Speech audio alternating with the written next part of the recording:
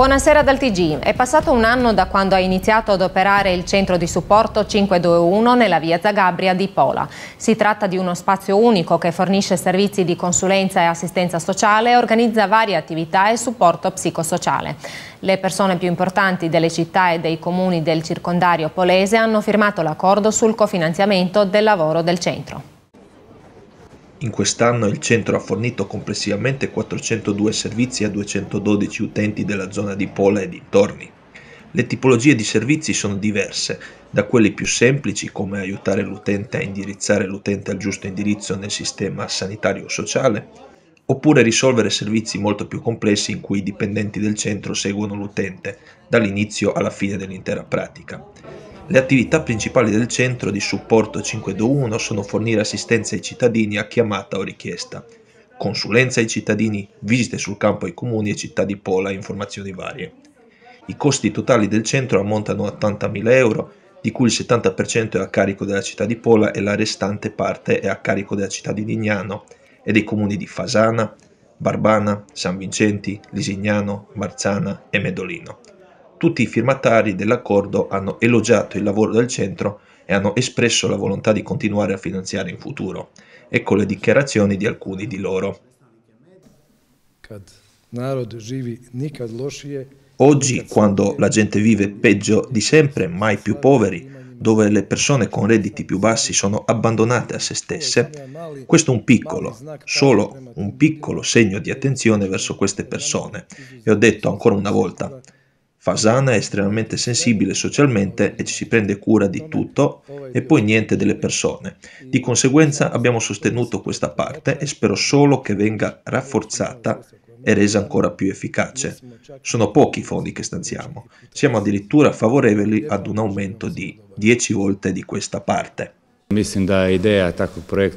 Penso che l'idea di unire un progetto del genere in un, numero, in un, unico numero di telefono che poi canalizzi tutte le esigenze di altre istituzioni sia un modo molto intelligente di lavorare e penso che sia, sia di tendenza nel momento in cui viviamo. Questo penso che anche altre cose dovrebbero funzionare in questo modo. Općina Medulin Eh, il comune di Medolino, come ha detto prima di me il mio predecessore, il signor Korac, è anche socialmente sensibile e sono felice di vedere questo, cioè quando vedo tutti noi insieme, i sindaci delle città, i sindaci dei comuni del circondario polese, che ci siamo uniti per andare incontro ai bisogni, aiutare i bisognosi mostrare loro ciò di cui avevano bisogno, in modo che potessero ottenere le informazioni e la guida necessarie per tutte le cose di cui avevano bisogno e di cui avevano la necessità nel modo più semplice possibile. Comunque l'orario di lavoro del centro è dal lunedì al venerdì dalle 8 alle 20 e il numero di telefono è 052 521 522. A Rovigno si è svolto il più grande incontro del settore turistico nel nostro paese, i giorni del turismo croato. Il programma ha riunito oltre 1200 partecipanti, iniziando con un seminario sull'era della sostenibilità nel turismo croato. Il programma di due giorni ha compreso diverse presentazioni e tavole rotonde, nonché la cerimonia di premiazione dei migliori e più meritevoli nel turismo per l'anno 2022. Si è parlato della riforma della gestione dello sviluppo turistico, del nuovo codice del turismo e dei futuri passi che contribuiranno alla sostenibilità del turismo croato. Ecco le dichiarazioni del primo ministro croato Andrej Plenković, della ministra del turismo Nikolina Brnjac e del direttore dell'Associazione croata del turismo Veljko Ostojić. Ukupna ocjena eh, ove turističke la valutazione complessiva di questa stagione turistica per quanto riguarda tutti i principali indicatori, ovvero indicatori di entrate, arrivi e pernottamenti, è estremamente positiva. In effetti, per quanto riguarda gli arrivi e i pernottamenti, abbiamo raggiunto i 20 milioni di arrivi e i 106 milioni di pernottamenti. Le stime delle entrate complessive sono di circa 14 miliardi di euro, il che significa che siamo migliori negli arrivi e nei pernottamenti rispetto all'anno scorso e che abbiamo ottenuto il miglior risultato di sempre per quanto riguarda le entrate. Abbiamo discusso naturalmente del corso della stagione turistica fino ad ora. Possiamo essere estremamente soddisfatti perché è stata la migliore prestagione di sempre, la stagione è a livello del 2019 e anche la post-stagione è stata altrettanto buona. Anche la soddisfazione degli operatori turistici è evidente. Ciò che hanno elogiato è l'ingresso della Croazia nella zona euro e nello spazio Schengen, che ha sicuramente permesso risultati turistici così positivi nella pre e post stagione. Ci siamo anche soffermati sulla preparazione del nuovo anno turistico, evidenziando sicuramente i vantaggi della Croazia come il fatto che è una destinazione turistica sicura. Abbiamo toccato tutti i settori e i progetti che stiamo realizzando con la Croce Rossa Croata, il Ministero degli Interni, con gli agenti di polizia provenienti dai mercati emittenti che vengono in Croazia, nonché con il Ministero della Salute riguardo le ambulanze turistiche ai numerosi altri settori. Abbiamo sottolineato l'importanza della sostenibilità del nuovo codice del turismo che permette una gestione sostenibile delle destinazioni turistiche.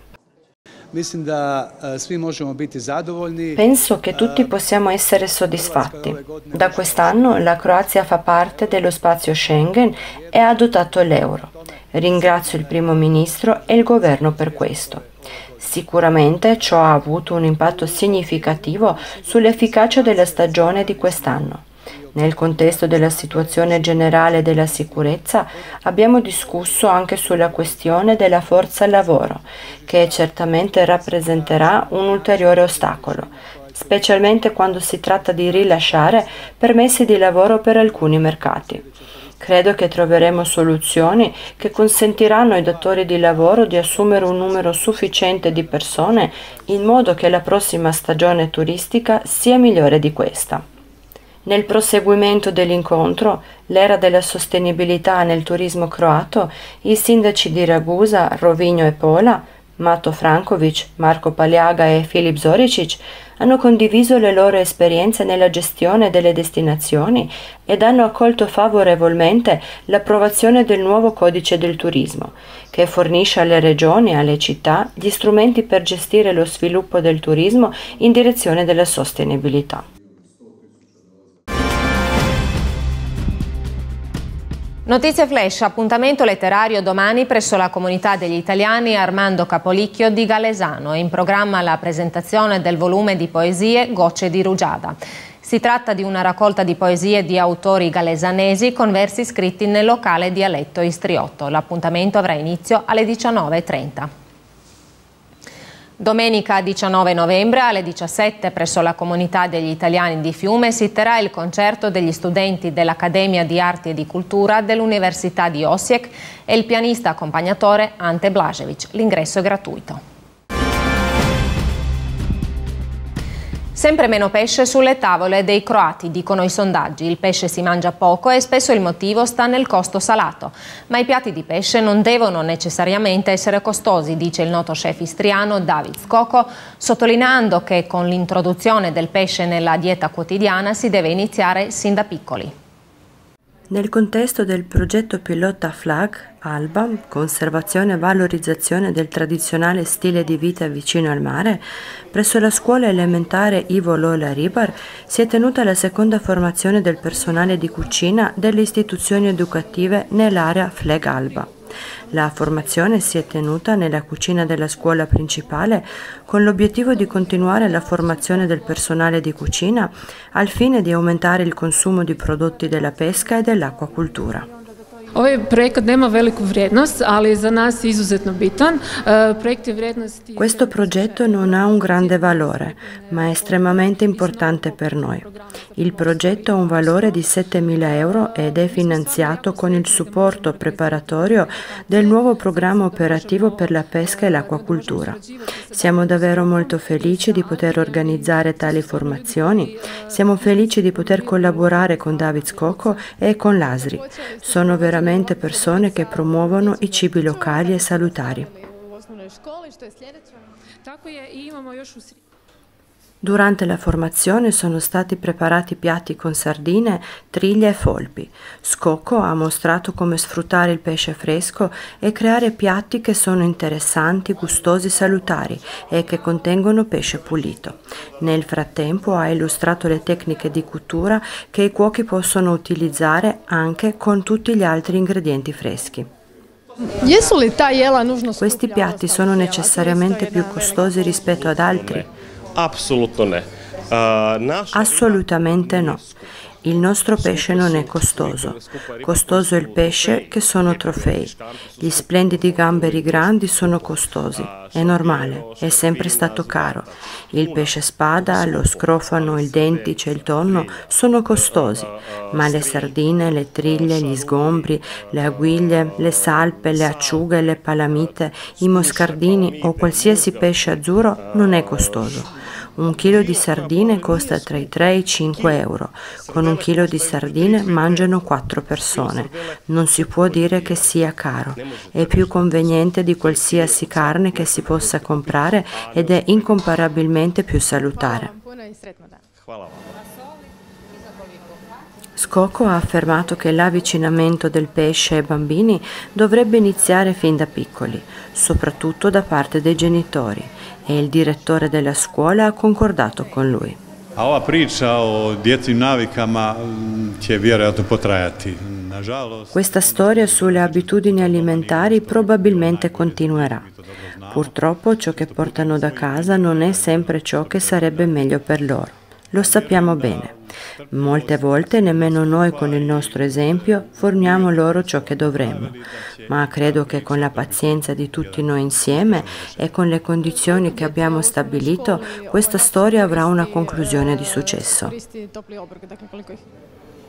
È importante sottolineare che la cucina della scuola elementare Ivo Lola Ribar è stata rinnovata due anni fa nel contesto del progetto Mare Grazie, creando così le basi per la realizzazione di tale formazione. Ulteriori informazioni su questo argomento saranno presentate lunedì 20 novembre alle ore 20.30 nella trasmissione Cronaca di Albona.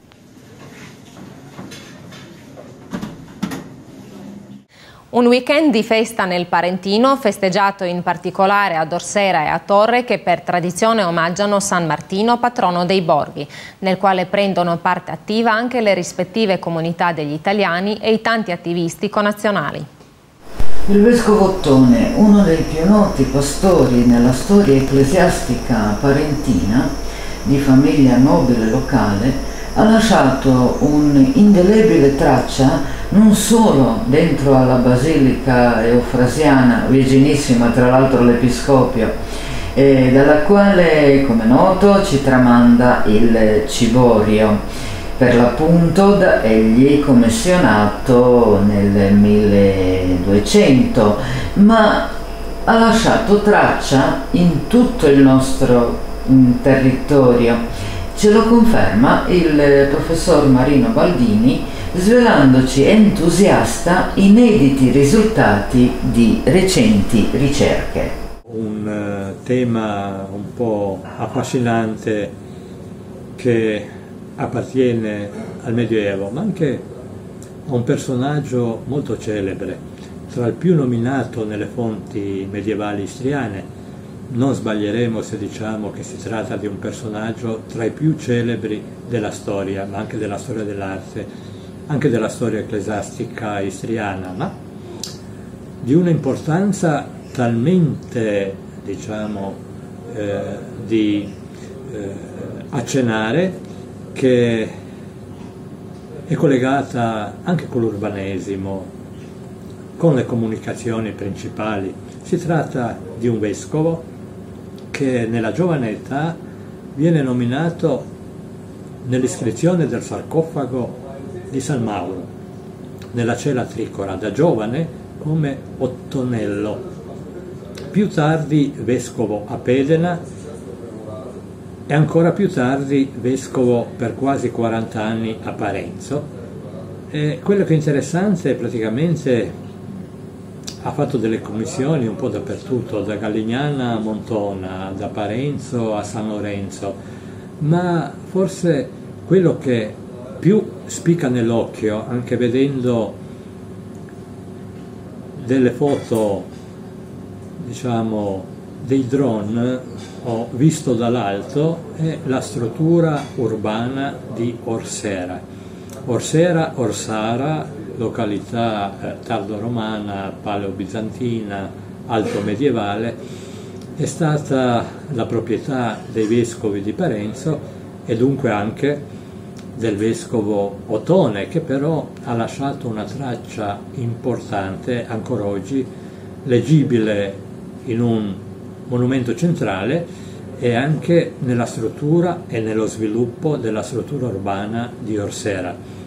Si tratta naturalmente del castello, il castello con l'orologio a meridiana, l'orologio solare, che aveva quattro tori medievali, aveva anche le mura e il palazzo interno con la vera da pozzo medievale, con la cisterna, con i piani fortificati in cima da ghibellini che appartenevano tutti, anche se essere stati restaurati più tardi, al periodo della costruzione, che apparteneva naturalmente al commissionatore e al proprietario del castello e tutto il territorio, perché il titolo del vescovo Otone era di vescovo di Parenzo e signore di Orsera.